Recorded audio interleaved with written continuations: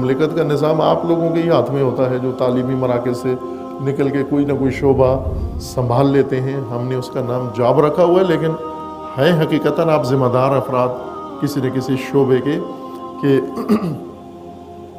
اپنی نگاہوں میں، اپنی سوچوں میں گہرائی پیدا کریں، تدبر پیدا کریں، فکر پیدا کریں اور آپ دین میں بالخصوص سطح دین کو نہ دیکھیں۔ سطح دین سے مراد میری یعنی یہ دیکھیں کہ لوگ کیا کر رہے ہیں؟ دیندار مسجدوں میں کیا ہوتا ہے؟ امام بارگاہوں میں کیا ہوتا ہے؟ جلوسوں میں کیا ہوتا ہے؟ جلسوں میں کیا ہوتا ہے؟ مجلسوں میں کیا ہوتا ہے؟ یہ سطح ہے دین کی، یہ رسومات ہیں۔ رسومات خدا و تعالیٰ نے نہیں بنائی، رسومات لوگوں نے خود بنائی ہیں۔ چونکہ عقیدت مند ہے، عقیدت مند کی خواہش ہوتی ہے کہ مجھے بھی تھوڑا سا موقع ملے تاکہ میں بھی تھوڑا سا اظہار کروں۔ مثلاً ابھی بھی، آپ میں سے بھی بہت سارے چاہ رہے ہوں گے کہ مولانا چپ ہو جائے اور مجھے تھوڑا موقع ملے، میں کوئی قصیدہ مرثیہ کوئی شعر ربائی میں سنا دوں تھوڑی سی آ کے جذبہ ہے بلاخر اظہار، جذبہ باہر نکلنے کی کوشش کرتا ہے۔ عقیدت مند جب عقیدت کا اظہار کرتا ہے تو بعض اوقات تسلی نہیں ہوتی اس کی کہ پتہ نہیں صحیح اظہار ہوا یا نہیں ہوا۔ جس طرح آپ کے گھر میں کوئی معزز مہمان آ جائے تو آپ او بھگت کرتے ہیں۔ پھر ساتھ معذرت بھی کرتے ہیں جی ممکن ہے آپ کے شاع نشان میں پذیرائی نہ کر سکا آپ کی۔ یہ ہوتا ہے یعنی تسلی نہیں ہوتی کہ یہ جو ہم نے حق ادا کیا ممکن ہے حق ادا نہ ہوا ہو۔ اس لیے مزید بڑھ کر اور کچھ آپ اور پھر اصرار بھی کرتے ہیں کہ یہ بھی کھائیے، یہ بھی ہم نے آپ کے لیے پکایا تاکہ صحیح حق ادا ہو جائے۔ عقیدت مند ایسا ہی ہوتا ہے۔ مثلا ایک کام کر کے درود پڑتا ہے، پھر کہتا ہے کہ شاید یہ حق ادا نہ ہو۔ مجھے نعت بھی پڑھنی چاہیے ساتھ۔ نعت پڑھ کے پھر تسلی نہیں ہوتی اس کی کہ شاید یہ بھی ابھی صحیح حق ادا نہیں ہوا تو وہ عقیدت کا جذبہ ٹھنڈا نہیں پڑتا، مزید ابھرتا ہے اور جوں جوں وہ تقاضا کرتا ہے، اظہار کا انسان اظہار کے ذریعے ڈھونڈتا ہے۔ عقیدت کے جذبے کے اظہار کے ذریعوں کو رسومات کہتے ہیں۔ اور تسکین ملتی ہے اسے، عقیدت کے جذبے کو بڑی تسکین ملتی ہے اسے۔ اب یہ سطح ہے اس کام کی۔ یہ تو گہرائی نہیں ہے، یہ فلسفہ نہیں ہے اس کا۔ یہ عقیدت کے جذبے ہیں جو ادھر سے ادھر جا رہے ہیں۔ ہم نے یہ دیکھنا ہے کہ ادھر سے ادھر کیا آیا ہے۔ ہم دیندار ہم دیندار ہیں مذہبی ہیں، مذہب کا احترام و عقیدت ہمارے دلوں میں ہے۔ ہم نے مذہب کے لیے عقیدت کا اظہار کیا۔ مذہب نے ہمیں کیا دیا ہے؟ قرآن نے ہمیں کیا دیا ہے اور دینا ہے۔ ان اہم موضوعات میں سے ایک موضوع اہم انسانی موضوع بھی ہے، علمی موضوع بھی ہے اور دینی بھی ہے۔ کربلا، جس سے افسوسناک حد تک لا تعلقی برتی گئی ہے، غفلت برتی گئی ہے۔ انہی وجوہات کی بنا پر جن کی طرف اشارہ کیا میں نے، مختصر یا کل کل، کم علمی کی وجہ سے یا مشغلے کی وجہ سے بس اوقات انسان جیسے بچہ ہوتا ہے، اس کے اندر بلوغ نہیں ہوتا۔ آپ بچے کو لے جائیں جیولری کی مارکیٹ میں، لے جاتی ہیں خواتین اپنے ساتھ۔ بچے کو کوئی دلچسپی نہیں ہوتی جس چیز سے ماں کو دلچسپی ہے۔ ماں مثلا اٹھاتی ہے ایک شے بہت مہنگی، لاکھوں روپے قیمت ہے اس کی، اور بچہ اس کو دیکھنے کے لیے بھی تیار نہیں ہے۔ کیونکہ بچہ بالغ نہیں ہے، اسے نہیں پتا کہ یہ کتنی قیمتی چیز ہے۔ اس کی ساری نگاہیں کھلونے پہ لگی ہوئی ہیں، یا کسی ایسی چیز بھی جو بچے کا نا ذہن کے مطابق ہے۔ وہ جسمانی بچہ ہے، لیکن بڑے بسا اوقات پڑھے لکھے روحانی بچے بن جاتے ہیں، روح، ذہنی بچے ہوتے ہیں۔ کہ کربلا جیسے موضوع میں جب انہیں کوئی دلچسپی نہیں لگتی یا دین میں یا قرآن میں انہیں کوئی چیز نظر نہیں آتی یعنی بچے ہیں ابھی۔ آپ ان کو بڑی اچھی مارکیٹ میں لے آئے، مانوی میں، لیکن انہیں کوئی دلچسپی نہیں ہے، کوئی چیز پسند نہیں آ رہی ہے۔ ان کو دل کو لگ نہیں رہی ہے۔ ان کو اس کی توجہ کھلونوں کی طرف ہے۔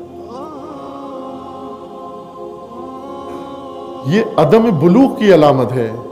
کربلا سے دوری اور کربلا مثال کے طور پر عرض کروں، باقی موضوعات بھی ایسا ہی ہیں۔ یہ دوری انسان کے عدم بلوغ کی علامت ہے اس لیے یہ شعر جو آپ کثرت سے سنتے رہتے ہیں، شاعر معروف شاعر شاعر کا شعر کہ انسان کو بیدار تو وہ لینے دو، ہر قوم پکارے گی، ہمارے ہیں حسین یہ خوب شعر ہے، بہت خوبصورت شعر ہے یہ کہ کیوں نہیں ابھی کہہ رہے حسین ہمارے ہیں؟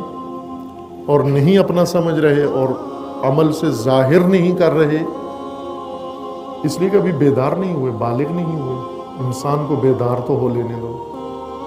خوب ظاہر ہے انسانیت بیدار ہوگی، کرنی پڑے گی۔ بیٹھے بیٹھے بیدار نہیں ہوتی، سوئے سوئے بیدار نہیں ہوتی، مزید نیند گہری ہوتی ہے۔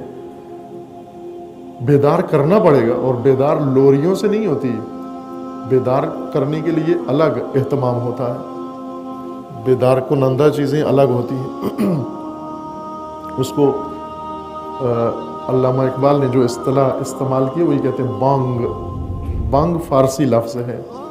بانگ بیدار کرنے والی آواز۔ صرف آزان کو نہیں کہتے بانگ۔ بانگ فارسی لفظ ہے۔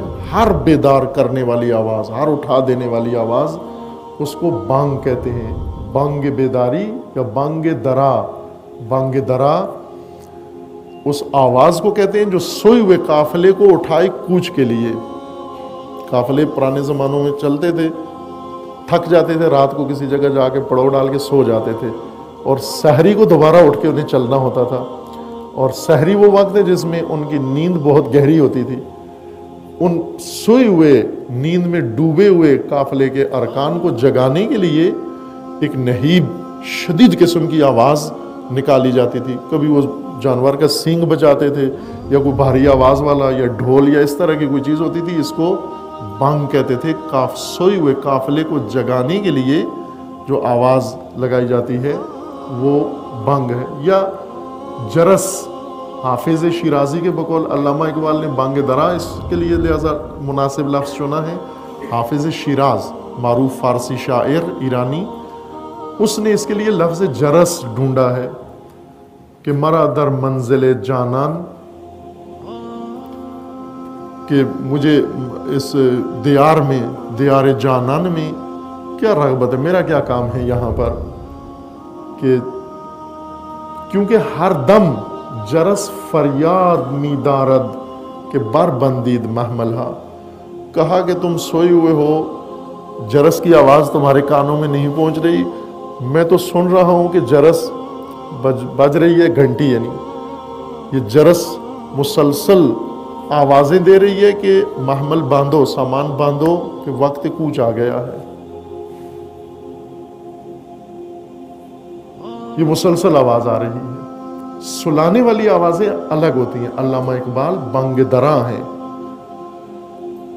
بانگ درا اور لوری میں فرق ہے۔ لوری وہ آواز ہے جو سلا دیتی ہے حص کو سلا دے، سوچ کو سلا دے، عقل کو سلا دے، فکر کو سلا دے، یہ لوری ہے۔ لیکن جو جھنجھوڑے ان کو، افکار کو بڑکائے جیسے ہمارے، البتہ ہمیں تجربہ نہیں ہے افکار بڑکانے کا۔ چونکہ پاکستانیوں کے جذبات زیادہ بڑھکائے جاتے ہیں، سیاستدان بھی جذبات بڑھکاتے ہیں، مذہبی بھی جذبات بڑھکاتے ہیں۔ یہ پاکستان کا جو تقریر کا سٹائل ہے، پوری دنیا میں کہیں بھی نہیں ہے، انڈیا پاکستان میں، کہ پھپھڑے کے زور سے بات کرنا، گلا پھاڑ پھاڑ کے بات کرنا مثلا۔ پوری توانائی۔